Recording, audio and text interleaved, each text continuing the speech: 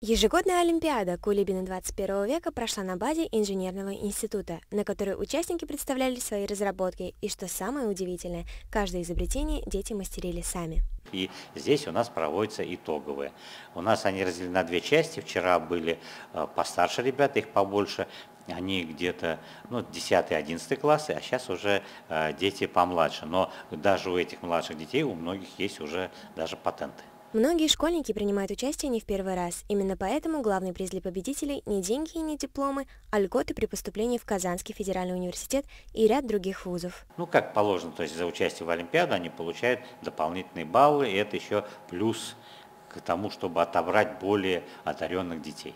Свои преимущества будут и у школьников младших классов. До вузов им пока далеко, а вот IT-лицей КФУ с радостью откроет двери юным инженерам. Э, для ребят младшего класса мы также проводим экскурсии по нашему IT-лицею, по нашему лицею Лобачевского и показываем, в каких хороших условиях ребята не только учатся, но и проживают. Алсу Саттарова, Виолетта Басова, Univer News.